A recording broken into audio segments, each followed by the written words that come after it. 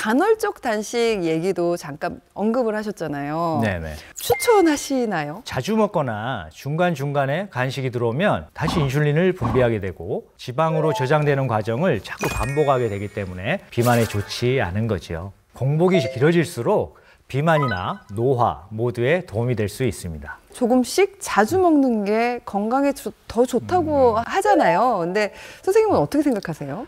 영양적으로만 하는 이야기라면 맞지만 비만과 관련해서라면 그렇지 않습니다. 적정한 양을 골고루 충분히 먹고 바로 눕지 마시고 움직여주는 게 비만에는 더 도움이 될 수 있습니다. 간식도 끊고 음. 식사량도 줄이고 운동도 열심히 하는데 오히려 체지방은 증가하고 근육량이 줄었다고 좀 속상해 하시는 분도 계시는 것 같아요. 이런 결과는 어떻게 해석을 해야 되는 걸까요? 체성분 분석 시 해당 수치만 보는 게 아니라 체내 수분 등 여러 가지 조건을 파악해서 보정을 해야 하는데요. 그렇지 못한 오류라고 보시면 됩니다. 대부분의 환자분들이 한두 달 평소 안 하던 운동을 막 두세 시간씩 하고 나 식사도 좋아하는 거 끊었는데 별 변화 없으니까 난 저주받은 몸이야 뭐 유전이 어쩌고 뭐 부모 탓을 함- 하게 됩니다 평소 하던 거를 조금씩 변화시키면서 네. 즐기면서 꾸준히 할 수 있어야 합니다 이런 경우는 어떻게 먹는 게 좋을까요? 아예 안 먹고 뭐 단식하고 아. 이거는 네. 실패하기 좋은 방법이거든요. 맞아요, 맞아요.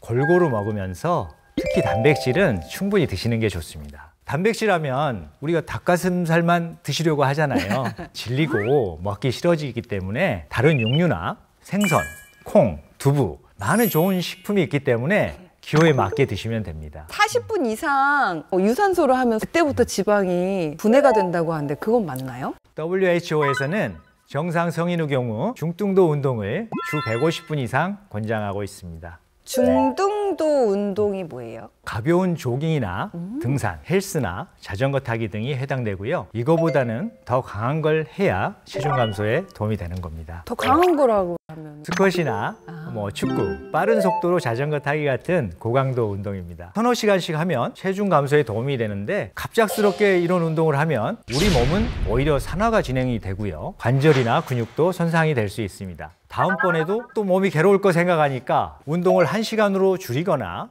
안 하게 되면 또 요요가 심하게 올 수도 있고요. 그러면 어떻게 하면 되나요? 고강도 운동을 주 3회 이상 뭐 1시간 이상 해야 지방이 분해된다고 하니까 시도하다가 실패하시고 자괴감이 들고 결국에는 침대에 누워서 그냥 휴대전화로 손가락 운동만 하게 됩니다. 천천히 즐기면서 성취감을 늘려가야 합니다. 아무리 노력을 해도 잘 안 되면 식욕 억제제를 먹으면 정말 식욕이 줄어드나요? 식욕 억제제는 여러 가지 종류가 있고요. 대부분은 안전합니다. 그 중에서 향정신성 의약품이 있는데요. 효과는 좋지만 중독성이나 의존성이 있고 심혈관에도 영향을 줄 수 있기 때문에 드시지 않는 게 좋습니다. 사용하더라도 다른 약에 효과가 없는 경우 3개월 이내로 사용하시기를 권합니다. 다이어트를 계속 실패해서 이제 그만 포기하고 싶은 마음이 굴뚝 같지만 포기하면 안 되잖아요. 그렇죠.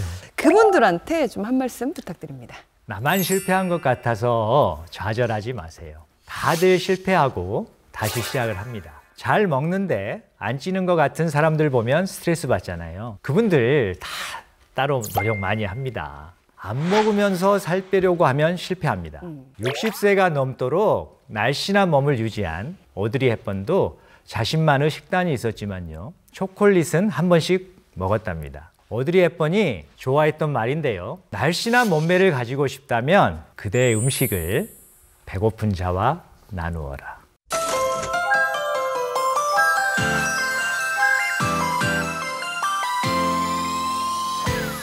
매일 10분 하루 두 번. 습관처럼 닥터 OBS와 다음 시간에 만나요.